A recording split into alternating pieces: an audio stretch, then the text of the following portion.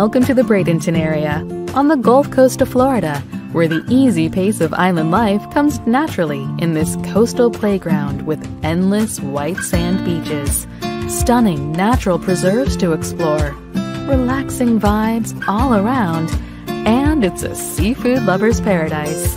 Plan to stay a while to explore vibrant downtown Bradenton with top rated attractions like the Bishop Museum of Science and Nature and discover this friendly community set along the Bradenton Riverwalk, where you'll find lots of surprises around every corner. Come lose yourself in the sun drenched Gulf Coast and change your reality here in the Bradenton area. Discover Florida's West Coast in Bradenton, Anna Maria Island, and Longboat Key. Learn more at BradentonGulfIslands.com.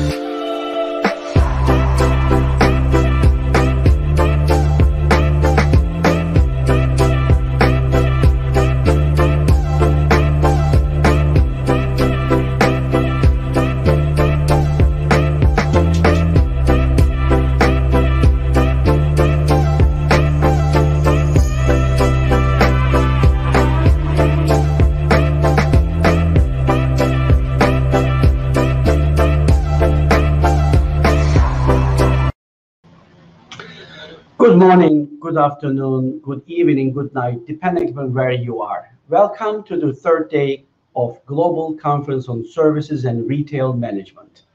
It is our pleasure to welcome you to the third day with an amazing panel, editors panel. I would like to introduce the moderator of this panel, Dr. Sertan Kabadayı. Welcome, Dr. Kabadayı. Thank you. Thank you, Jihan. I would like to introduce him to you. Uh, Dr. Kabadayı is the professor of marketing at Fordham University, Gabelli School of Business. He conducts research primarily in the transformative service research field with an emphasis on improving well-being. Furthermore, he is doing research related to refugees and refugee integration into host countries.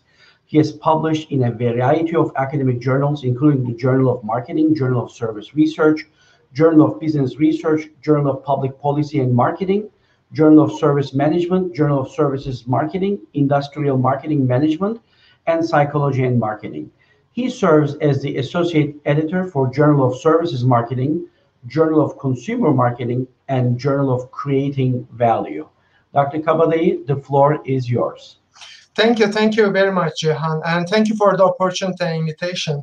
It's my real pleasure to moderate today's panel with four great uh, colleagues um, that they will talk about the future of service research. So um, I would like to introduce them one by one so they can talk about their background uh, briefly before I start with my questions. First, I would like to introduce uh, Dr. Mariana Sigala. Mariana, can you please tell us briefly about yourself, your background, your research interests, please? Good afternoon, good morning to everyone. My pleasure to be with you. And thanks for the invitation. Um, I have a dual interest and background, um, or even three fields, let's say. I do research on service on the service um, literature and field, I specialize on technologies as well uh, as they are applied in the service field, and that's why I publish in information systems and service journals as well. But then my industry context and specialization is tourism and hospitality. So, um, as somebody can probably imagine, uh, as uh, I mentioned before, um, I have two disciplinary focuses and one industry specialization. Um, I've done a lot of research for those that they know me on technology applications, mainly social media marketing, um, CRM and revenue management, electronic distribution, um, a lot of publications on quality experience management and wine tourism. Thank, thank you, Mariana. Uh, so let's go to Dr. Minghui Huang, uh, the incoming editor-in-chief of Journal of Service Research. Good morning, everyone. It is really very early morning. I hope you all have woken up. Okay, my name is Minghui Huang. Uh, I'm a distinguished professor at National Taiwan University in Taipei. And uh, I, my background, I'm very international and also multidisciplinary. Uh, that can be shown that I actually, I am, I'm in the information management department, but I have done a lot of research in marketing and in service. I'm also currently I'm a fellow, a lifetime fellow of European Marketing Academy EMAC, an international research fellow uh, of Center for Corporate Reputation, University of Oxford in UK, and in the US part, I'm the distinguished research fellow for of University of Maryland. So that really shows that's that is also the positioning of general service research that is very multi multidisciplinary, and it is also is is very uh, global and international. So that would be my brief background. Thank you, thank you, Minghui. And next we have Dr. Levent Altinay, the editor of Services uh, Service Industries Journal. Um, good afternoon. Um, Good morning, good, af- uh, good day, good afternoon, good evening, everyone, wherever you are, whatever you're doing. And I hope you are safe and healthy during these challenging times. Before I introduce myself, I would like to quickly thank the organizers for creating this, such a wonderful platform for knowledge transfer and scholarship internationally.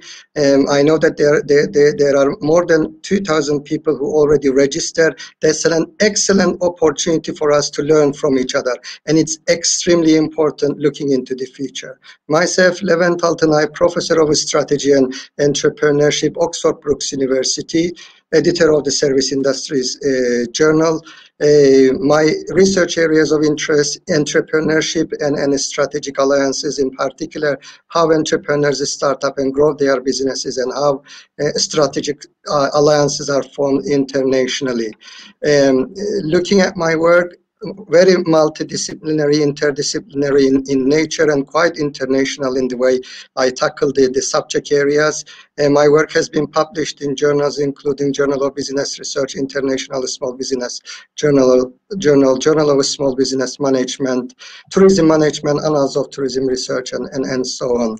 Um, I co-edited a strategic management, entrepreneurship, and research method textbooks, a I serve on the editorial boards of uh, more than 12 journals. I'm not going to mention the names, just uh, quickly uh, thinking about some of them, Journal of Business Research, uh, uh, Tourism Management, Journal of Services Marketing.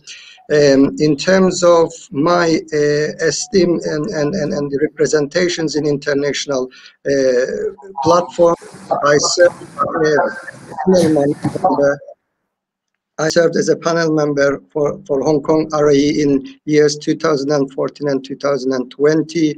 I am currently serving as, as a REF panel member for business and management in the UK as well. Um, ongoing projects quickly. Um, currently, I've got three projects uh, running and, and, and, and, in parallel, one of which is like you're certain, I'm looking at how we could help refugees integrate to the host societies or why, to the wider communities through entrepreneurial activities, as well as helping them to improve their well-being.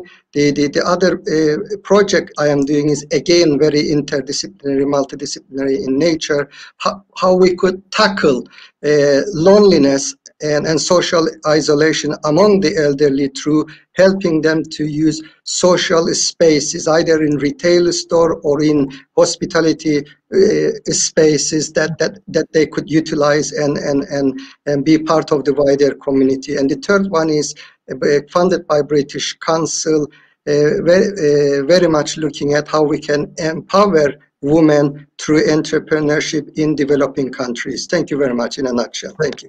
Thank you, Levent.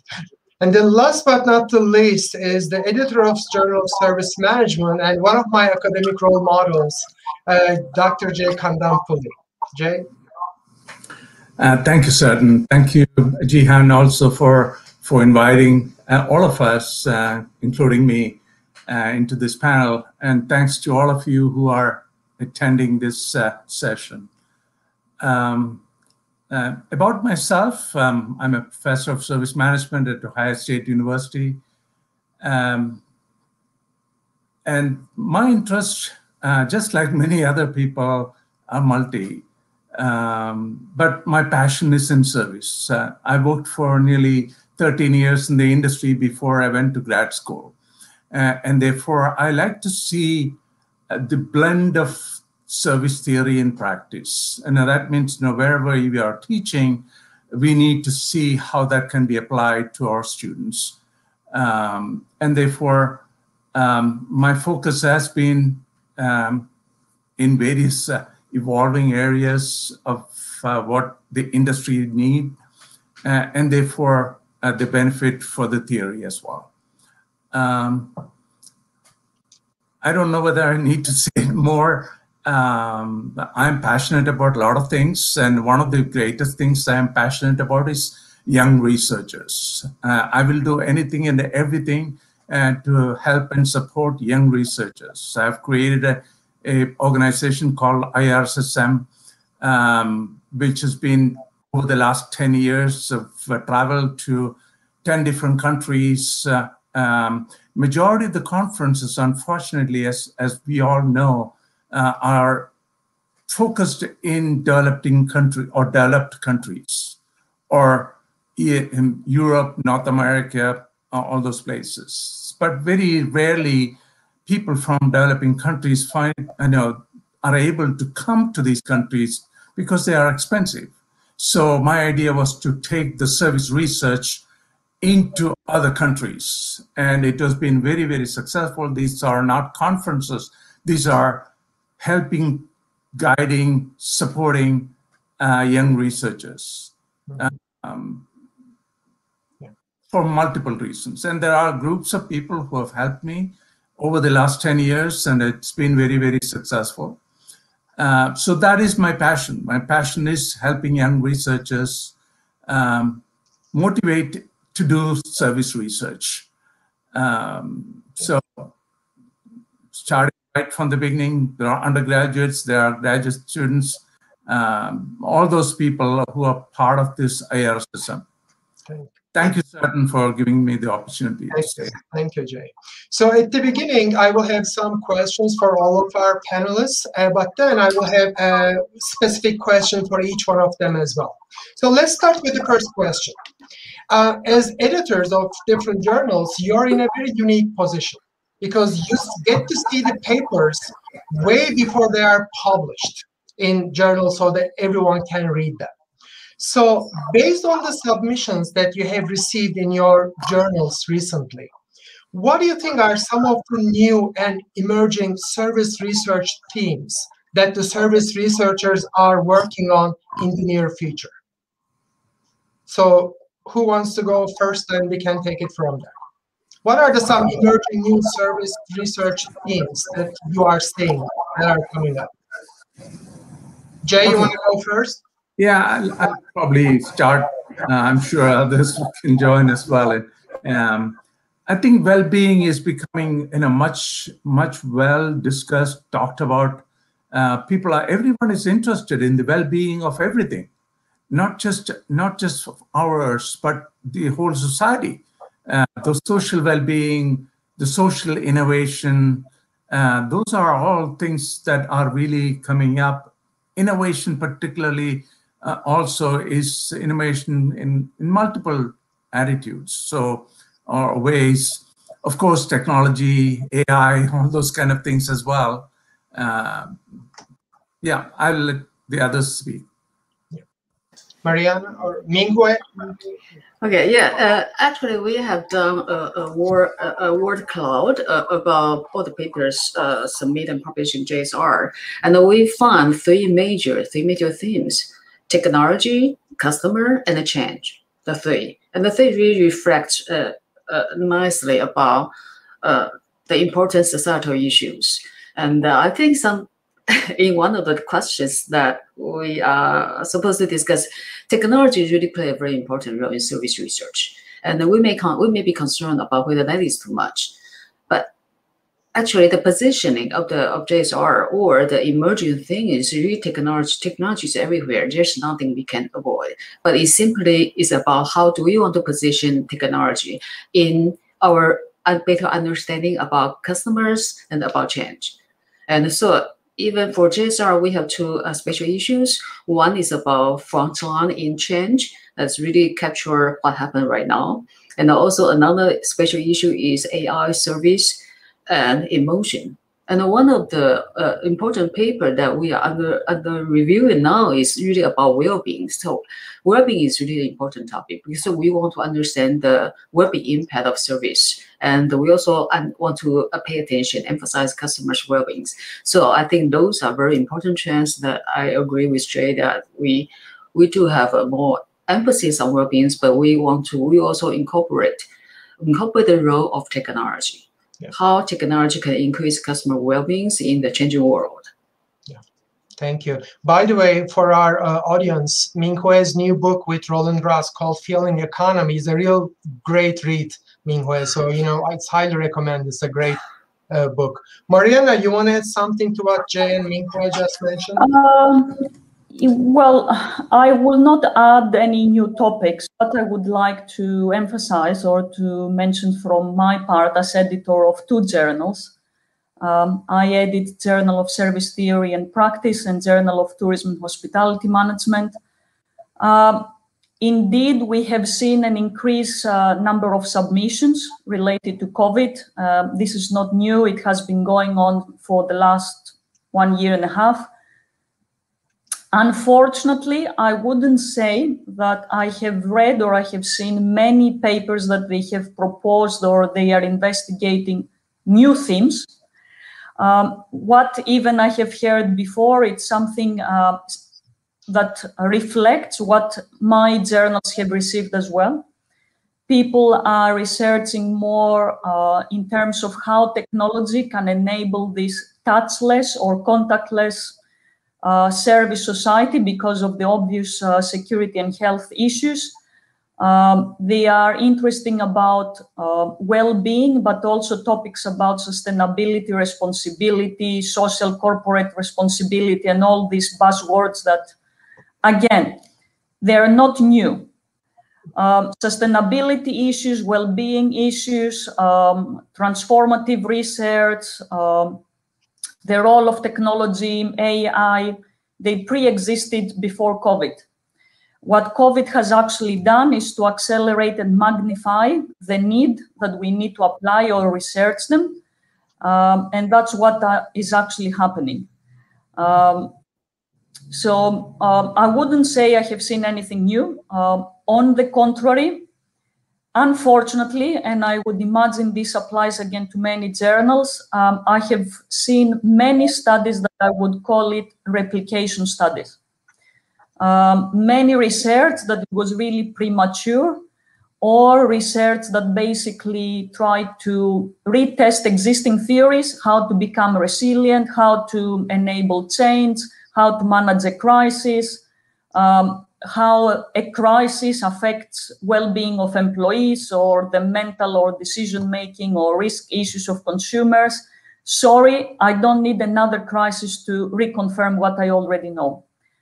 Um, so I'm still eager to see research that it will really uh, go beyond uh, what we already know or try to uh, contribute something really new and help the industry and the academia to progress a, a step beyond what we had been doing so far and we ended up to where we are now. Thank you. Thank you, Mariana. Levent, you want to add something to what Yes, certainly. If I may, I would like to, to put your question into a context. And I've been uh, doing some reading a, a, a lot um, some reading around chaos theory recently and trying to understand the, the, the, transformation of the different sectors of the service industries through chaos theory. And that, that, is a, that has given me a different and an interesting perspective in the sense that I would like to use the, the, the, the analogy of the, the butterfly and, and the COVID uh, with the ripple effect, where as, as the butterfly moves its wings, you can see the implications and different implications of COVID for the different sectors of the, the, the economies for a portion forcing service industries to trans transform themselves. And interesting things are emerging. And and that is uh, that, that these things are actually being reflected in the submissions recently. One of which on one hand you see uh, the, the, the, the shifting consumer behaviors.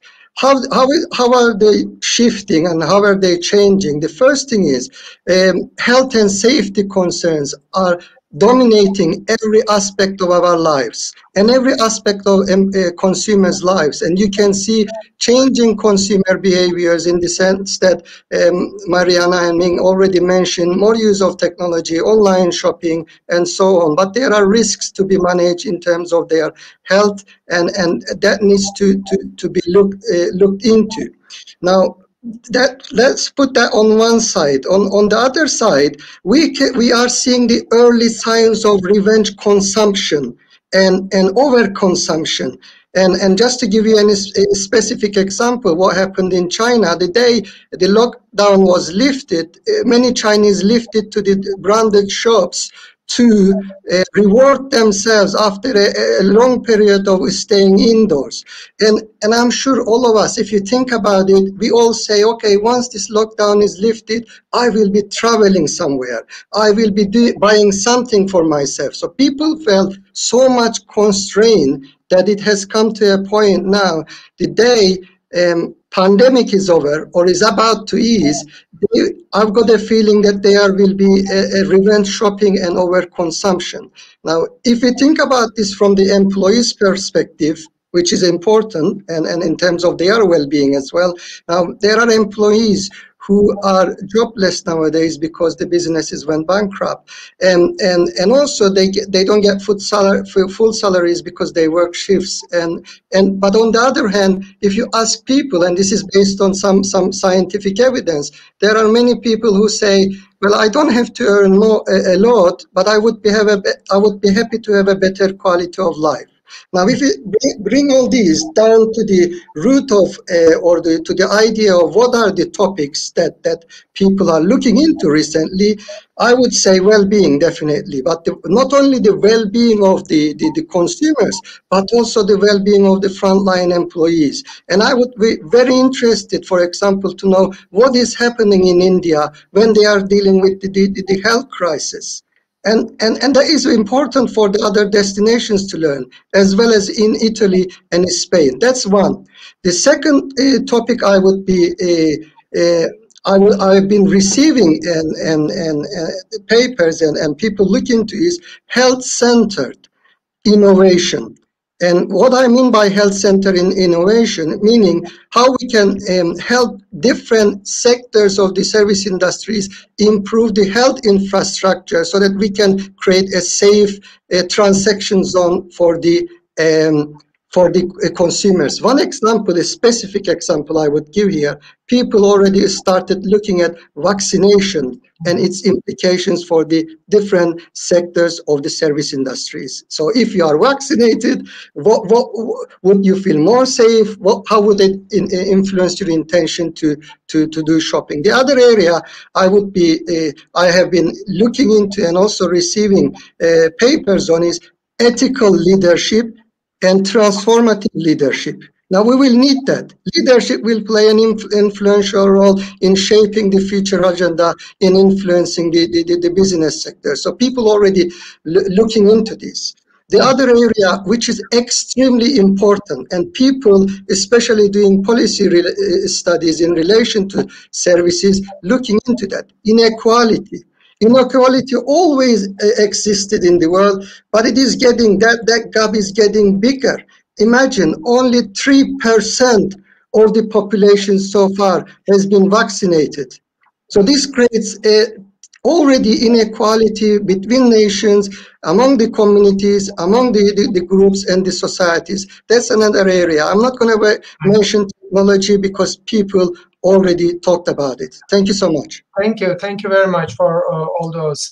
Um, very quickly, um, can we talk about a little bit of the challenges that the service and in retail researchers are facing today uh, in terms of data collection, methodology, or what are some of the challenges that we need to be aware of and we need to be prepared? Who wants to take it um, first? Jay, you want to go? We cannot hear you, Jay. No. Jay, we cannot hear you. Yeah. Oh. Yeah. Now I think we can. Okay. Okay. So service research has been a problem, in my view at least, is because most of the service research is done at, at the higher level, at master's or even PhD uh, levels. And uh, very, very few universities teach undergraduate students services, unfortunately.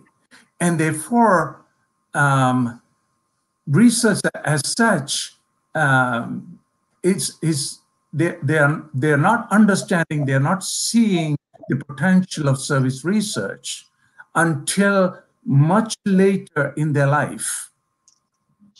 Uh, and so from that onwards, what I'm trying to say is that because we, you know, we have not been trained to think using service as our basic mindset, we are not really seeing how service research can be conducted.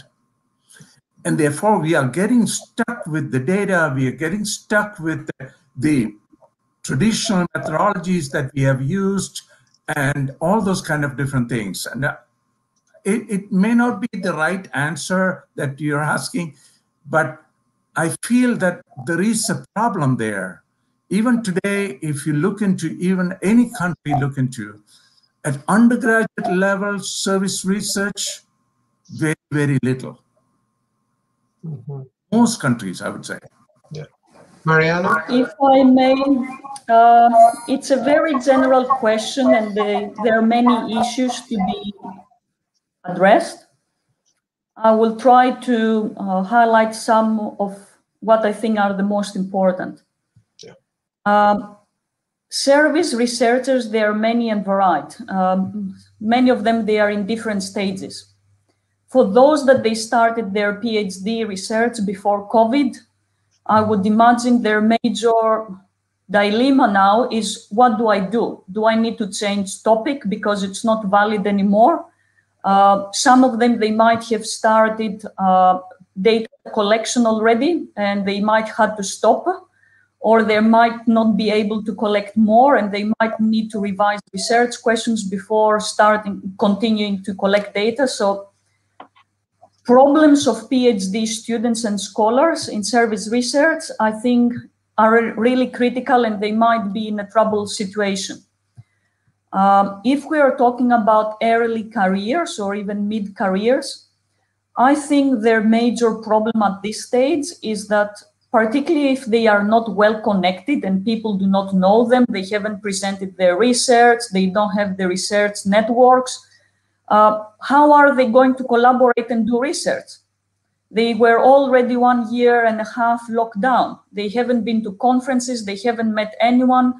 I wouldn't say that the online conferences are a good substitute to form relationships, to build trust and to uh, have people to collaborate with to do research. So I really feel for them. They are in a really trouble situation. Uh, mature researchers, yes, they don't have this dilemma. Uh, probably the problem they might be facing um, is reduced funds for research, particularly for universities that their budgets have been cut uh, since overseas students are not existent. Um, many service industries, particularly in tourism and hospitality, as you can imagine, they have no money to survive, not to mention money to fund research. Uh, so funding for research is a major issue uh, for all researchers, not just the uh, early or uh, mature ones. Yeah. Um, service research, I tend to believe that um, it has to be multidisciplinary at least COVID had shown us that uh, we really need to learn from disciplines like criminology, diplomacy, politics, um, medical research. Now, how do you establish again networks and meet with people and you network to progress research? When you're in a lockdown, when you cannot travel, when you cannot present your views. So these are quite, I think, critical current issues for research in services. Yeah, thank you. Levent or Minghui, do you have something to add? Um, oh, yes. I, uh, uh, mm -hmm. Sorry, just go ahead. No, no, no, please, Ming, please, please. I... okay. Uh, what I observe the major challenge now is I think as the field, the service research field become more mature, we seem to encounter a similar problem like many uh, top journals as JSR become one of the top journals. That is the research topic tend to become emphasize too much on rigor. We see a lot of papers really, really emphasize rigor, but the relevance, the relevance and the impact tend to be trivial. And I, I see that is an important trend these days for all the submissions to the J, a lot of submissions to the JSR. And actually what we want to see, and I think that's a challenge to the service field that it's important for service research to emphasize service uh, implications for stakeholders. Those stakeholders, including service customers, researchers, managers, or uh, policymakers, uh, we want service research to have real impact to the society, to all the all the different uh, stakeholders. Uh, instead of just a, a paper that addresses a very small issue, because it's easier to be rigorous to be rigorous for this kind of research. So that I would think actually that can be that can, that is a, a, major challenges that we need to deal with. That uh, don't let service research become another uh, another field that's really just focus on publishing publishable papers that emphasize on rigor instead of yeah. impact. Yeah, thank you, thank you, Minghui. Levent, very briefly, very briefly, without uh, repeating what Mariana and Ming, Ming have, have, just said, just to, to build upon what they, they, said, I mean, we have got two issues here. One of which is um, when it comes to training of our PhD students, we, we, we are asking them to review the existing literature, review the theories, um, and, and most of the time in the case of many students, PhD students, graduates, the point of departure to identify a research gap has always been the theoretical area or conceptual review. Now it has come to a point that, that we, we need to, I mean, we have already started, but we need to place more emphasis on the, the global challenges that the world is, uh, is uh, facing and how these students could make their topics uh, groundbreaking, that was Mar Mariana's point, and also timely as it comes to responding to the, to the needs of different stakeholders, including policymakers, um, destinations managers, and, and so on. Now here, I think one, one area which is extremely important, and I would like to, to underline that as well, is that it, when it comes to dealing with the global challenges of the world, it has come to the point now that there is no way but we will have to make our research multidisciplinary and interdisciplinary. What does that mean? We will have to work closely with the health scientists, work closely with the, the criminologists, psychologists, and, and so on, in order to be able to um, train our students and also uh, produce a, a research output of, of some value. Now here, PhD programs. Now, when it comes to PhD programs and PhD training, I think it's extremely important now to make it um, multidisciplinary and interdisciplinary. Thank you. Thank you. Thank you. Um, Mariana, if I could go back to you, um, you know, you just mentioned some of the challenges, uh, but since you are uh, working on travel hospitality field, what do you think are some of the key opportunities waiting for those researchers in your specific field? Um, opportunities for research or for research investigated. Okay. Well, as I mentioned before, the industry um, has been challenged by three major topics even before COVID. Um, sustainability, responsibility, and all these um, issues related with the environment or uh, the responsibility of tourism to the society. Uh, the increasing role and impact of technologies in the tourism, hospitality, and travel sector. And we have seen a lot of research on transformative tourism in terms of how it can help improve well-being, not only to tourists, but also to local communities, countries, regions, you name it. Mm-hmm. So these topics were already important because of COVID. Uh, everyone has realized that they have become even more important. Um, what I would, however, uh, recommend for researchers that they would like to progress that field is, as I said, to try to conduct research that it will probably challenge our all pre-assumptions. So just to mention some, uh, we have been for long, for example, made the pre-assumption that um, uh, tourism development is the only way to achieve uh, development um, in some way in a society.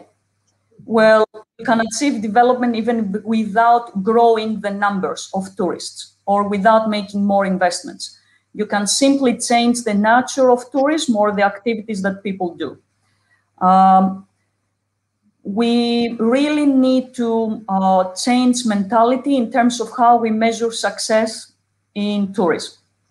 It was basically in terms of numbers again. Um, we haven't measured success in terms of well-being or happiness um, or in terms of social cultural sustainability. Mm-hmm. Uh, we have made the pre-assumption that um, capitalism and uh, personalization is unstoppable. Um, that everybody has to personalize, use data, invade privacy, um, introduce more technology to become a better company to provide better service. Well, why this is true? Why you can't do it in a different way? So I think um, the topics, as I mentioned, they haven't changed. What the researchers need to do is to think differently and probably use different paradigms or different methodologies. Levent mentioned house theory before.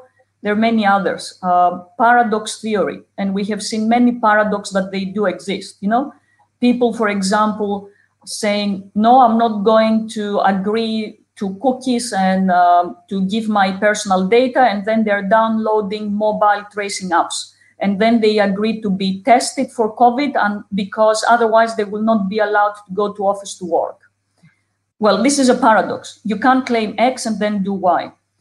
Um, we can't claim that you know uh, we agree on travel mobility restrictions and they agree that we are democratic or we believe on I don't know, whatever politic ideology.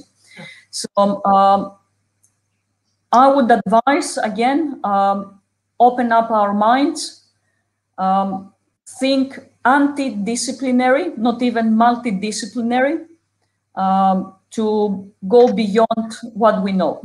Okay. I like create that. more than what we know and we don't know it. Yeah, I like that. I like what you just said at the end, Mariana. Thank you.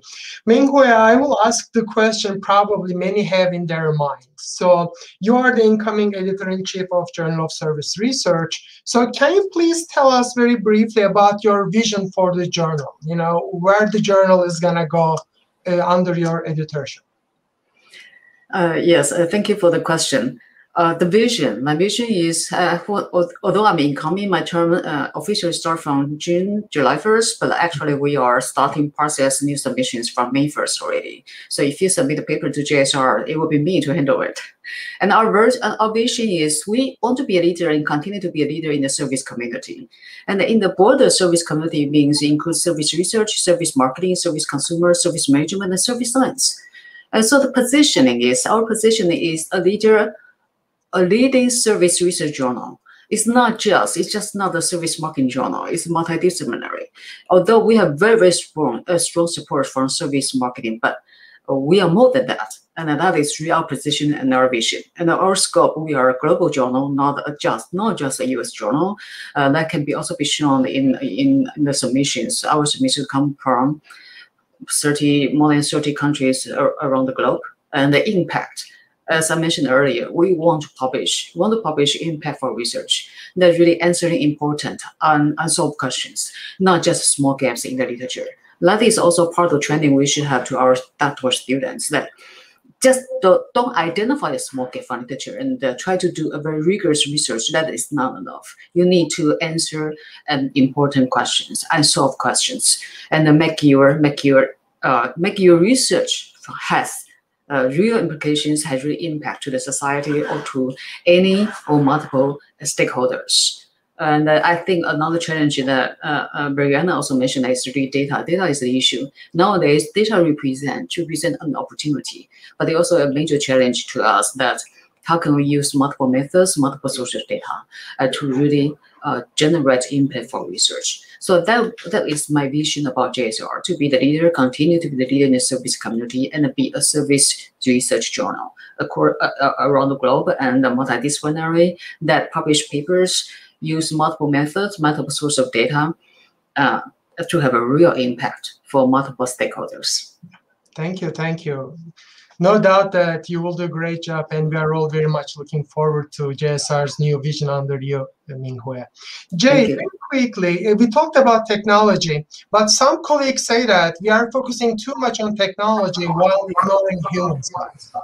What do you say about that? Uh, briefly, is that the valid concern, or how should we handle that?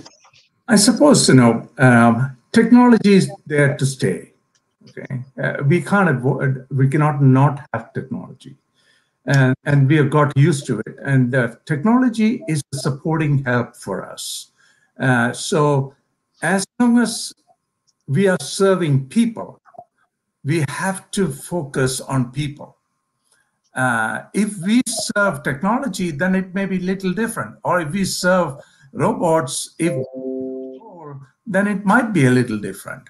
But as long as customers are going to be humans, uh, we have to find ways to connect with the human and technology in one form or another. and not underplay the human component uh, when you want to serve a customer who is human. So uh, that is my take of it. And of course, you know, companies, organizations, of course, they would employ uh, all kinds of technology to to you know, improve their profitability. Yeah. if that is our goal, then that's a little different. Yeah. Okay. Thank you, Jay. And final uh, question before we go on to audience question. Levent, you already mentioned uh, some recommendations for young researchers, PhD students. Is there anything that you want to add for our um, audience who are PhD students or early career researchers? Maybe one or two recommendations for them? Yeah, um, just a couple of uh, recommendations quickly. Again, and one is about the, the creativity and innovative identification.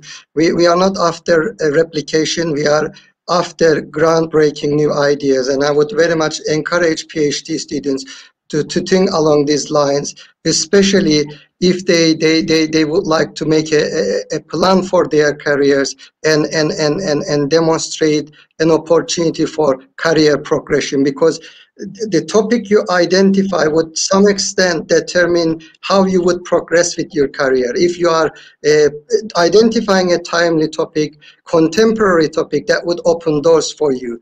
And the way to go forward about this, like we mentioned earlier on, make it more interdisciplinary, multidisciplinary. If you don't have this, uh, if you don't have the, the criminology background, psychology background, sociology background, collaborate, but collaborate with the, the, the right people. When it comes to collaboration, uh, networking is a, a, extremely important to, uh, in order to be able to get to know people. Is it a challenge nowadays? Yes, it is a challenge. We need to place more emphasis on social net, uh, networking, but we have to do it.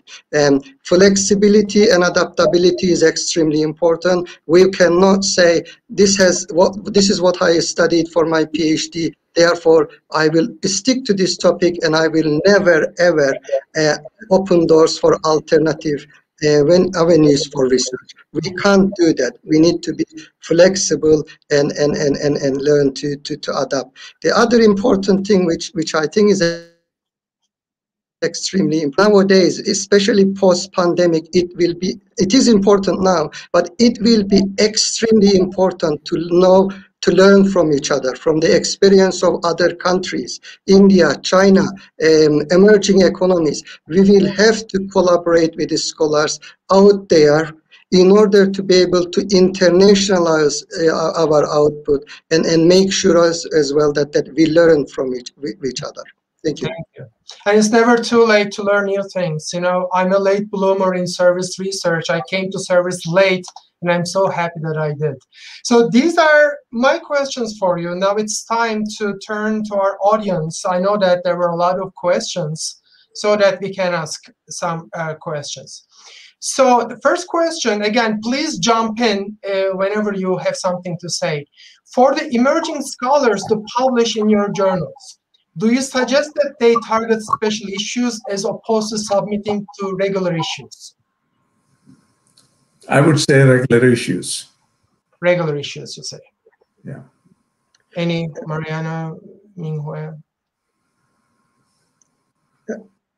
Yeah, I would say I would say regular issues too, because special issues. It, it, I think the chance for what you are working on right now fit into the theme of special issue is low, and that is a special requirement. That's why we want to have a special issue because we have special theme that we want to look at. And actually, so uh, continue if you're ongoing, if you're doing, uh, continue your current research streams. I think submit to a regular issue, uh, actually chance is higher. Yeah, thank you. Levent? I would say both, um, simply because you asked an interesting question, Sertan, which was about based on the submissions, what do we see as the, the trends? Now, what is also interesting here, we as the editors, uh, we are uh, we are proactive in terms of uh, establishing new agendas and setting the new agendas and directions for the researchers. For example, Service Industries Journal already uh, uh published a special issue on, on the well-being of consumers and, and, and uh, employees, edited, co-edited by Sergey and, and Muzoisal. This was a very interesting special issue.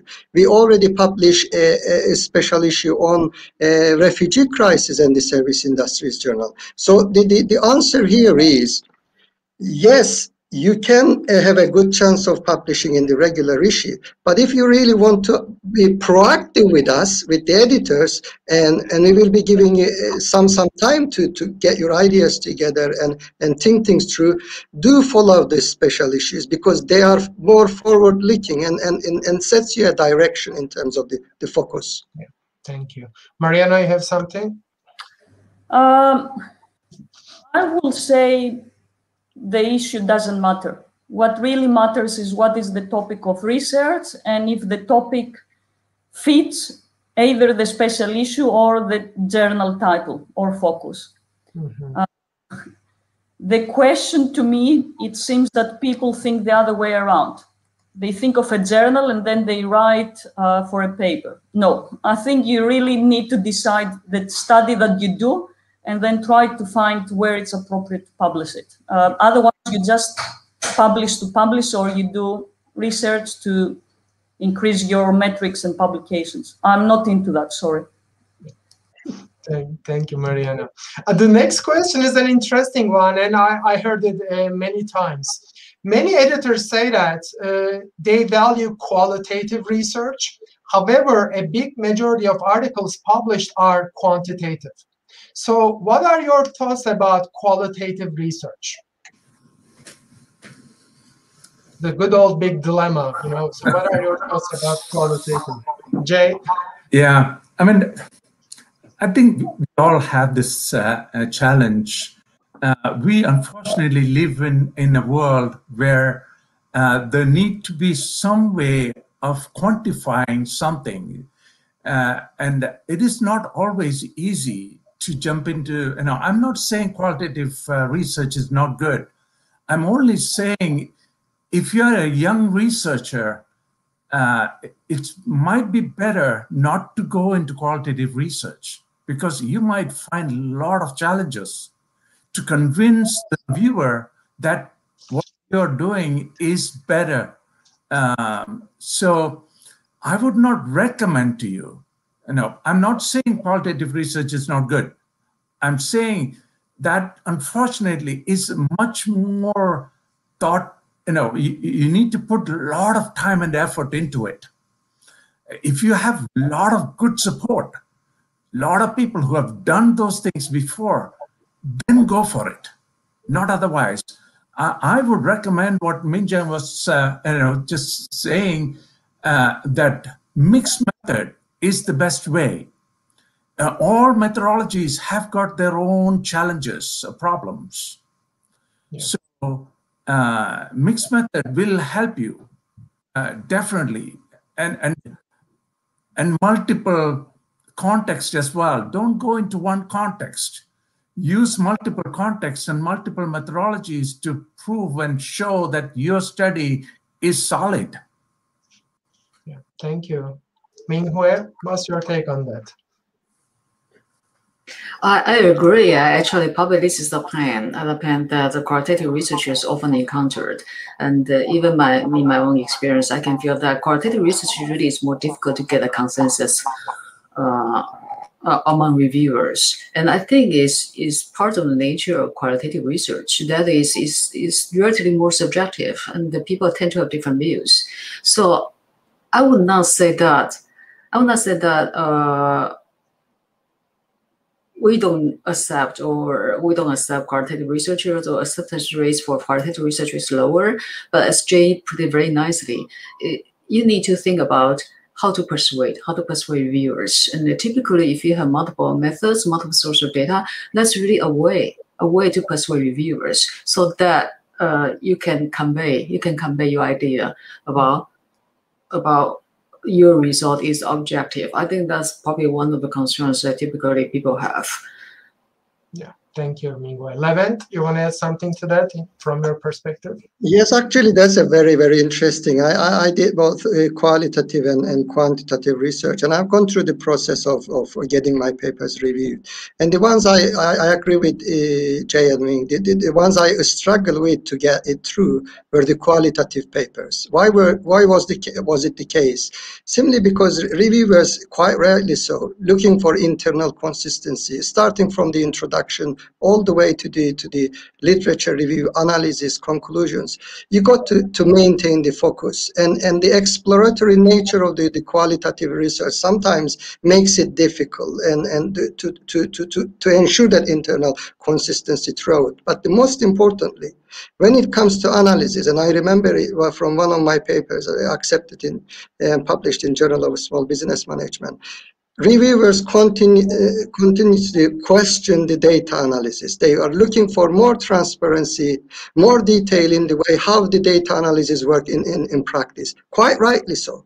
And that might become frustrating sometimes. It, it, this, is, this is very much like um, getting a, a, a, full bottle of oil, olive oil from a, a, single olive. And that is a challenge. And, and, and you got to squeeze, constantly squeeze things to be able to constant, uh, convince the, the reviewers and that is a challenge. And if you have the patience, commitment, time to go through it, yes, go for it because qualitative research can really generate new and interesting insights. Yeah. Marianne, have something to add to say, or should I? Uh... Uh, well, I won't repeat what is already said. Uh, you somebody will really need to fit the methodology to the research question. Mm -hmm. So it's not an issue of selecting what editors or journals like. Uh, you really need to apply whatever appropriate methodology is for you. I think the uh, nature of the question emerges from the fact that unfortunately, still to a certain extent, many top ranked journals, particularly from USA, uh, or based in USA, they value more quantitative research. And unless if you have sophisticated numbers and statistical analysis, you are not being accepted. Uh, I want to believe that journals are more open to different methodologies, uh, particularly the qualitative, that they have not been that popular that, um, that far one of the reasons for that is not just journal editors or preferences um, or journals. I think it also has to do with reviewers. Many reviewers are not comfortable to review papers that they are qualitative because they're not familiar with the methodology. They don't understand or they, for them, it doesn't make sense. So to a certain extent, I believe that uh, to achieve a change, we really need everyone to be educated, editors, reviewers, researchers alike. Thank you. The next question, in fact, I kind of, we all found ourselves in that position. It's almost like a yes no question. I've submitted an article to a journal and get desk rejected. I know my paper is good do you think I should spend time and write a response to the editor to change his or her opinion? Jay, you're laughing. What do you say? I'm saying, no, there, uh, really, if an editor uh, uh, didn't get impressed by reading you know, the front end of the paper, uh, I, I, think it, it, there, there must be a reason. There must be a reason. Um, so then convincing a reviewer would become much more difficult. Mm -hmm. So uh, please don't try to do that because I, I, they're not, no editor really punish anyone. And, and nobody will do that. No. Editors get rewarded for publishing, not not publishing. So if it is good, they will find a way to publish it, help you, support you, and, and guide you to with reviews and whatnot. And and so please don't question them. They are, they are really there to help you. Thank you. Anyone else who want to add something to that? Because we may have maybe one more question during the time. Minghui, Levent, Mariana. Yeah, I can respond to this question because this is a very interesting one. There are several points like I mentioned first. It's very common for desk rejection these days. I think for JSR, uh, our desk rejection rate probably is about 50%, five zero. So don't get frustrated because that's very common. And it also helps authors who have quick turnaround because may, there are many reasons of the desk rejections. And the second point I want to make is I know my paper is good. I, I love that because you, you do need to have belief in your own papers. If you don't even believe your papers, there's no way that reviewers can like it. I do, I, I do think that is very important. But the key thing is, uh, especially what we are doing right now, we are doing in, in JSR is I asked myself and our our editor teams that you cannot when you do the desk rejection, you cannot just say, "Oh, the paper is lousy; it's not good enough." That is not responsible to authors. You even if even if for desk rejection, you need to state the reason. You need to provide your own evaluation about why you think the paper should be desk rejected, so that really paper the author have a chance to respond. Yeah. But you need to respond in a way that the editors will think, okay, it's a desk reaction, but you may have the chance to resubmit. So it's not to be, it can be, you can turn a desk rejection into a reject and resubmit. But the key is you actually need to be Yeah. incorporate, incorporate the comments. You cannot just say, I believe my paper is very good, so I just do nothing and uh, just want to challenge the editors because editors should actually spend time on reading your paper, even if unfortunately the result is desk rejection. But last question, probably given the time. This is also interesting. Maybe Mariana Le- Levent, you may want to say something.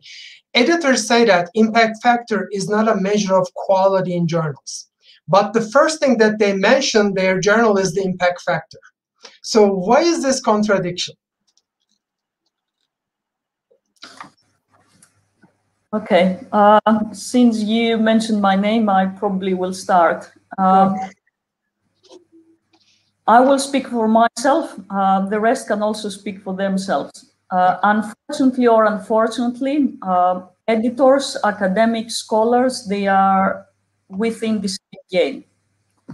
The game is played by impact factors, um, and that's how we all try to increase our performance. Uh, as I mentioned before, uh, it matters how you measure your performance because this is what you become. Uh, so if you measure your performance by impact factors, that's what you highlight. Um, if um, authors and scholars are being assessed by impact factors, and this is what it will attract them to submit their quality research to journals, this is what the editors will emphasize. Uh, the impact factor is not the only metric to show how good you are. Um, it's not a panacea, um, but this is how, unfortunately, everybody's success is being measured or um, people get promotions or journals get recognized. Yeah. Um, I want to believe the game is going to be changed soon or quickly because impact factors are not the uh, sole indicators that we should be worried, but that's how it is the current reality. Okay. So we have like one more minute. Who wants to say something about this? Levent, you want to add something? Yes, quickly. Yes, right. Um, Mariana mentioned um, impact factor is one performance indicator, but at the end of the day, what matters for the at least for for the, the service industry journal is how it can differentiate itself from the others, and and that is extremely important uh, for, for for us. And and our benchmark is ourselves in this regard. And what do I mean by that?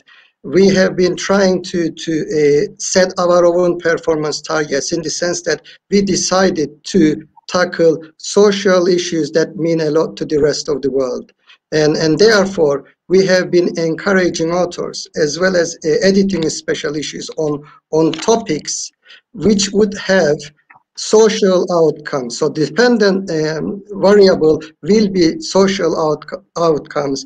And this could be, just before we mentioned, well-being, refugee crisis, informal economy. There is a lot there that, that we, we haven't looked at collectively as service researchers in terms of how we could uh, help those those ones or how we could offer insights into those areas where people are actually suffering, not getting properly paid, not proper uh, making proper living for themselves. So for service industries journal, one of the, the, the, the performance indicators is yes, impact performance indicator, which we set for ourselves, and that is our benchmark, is to uh, keep social issues high on the agenda. Very quickly, also yes, no question. What are your thoughts on using crowdsourcing as a data collection method like mTurk or Qualtrics? It's the easy way to collect data, but is it valid? What's your thought on such kind of data collection? Thumbs up, thumbs down?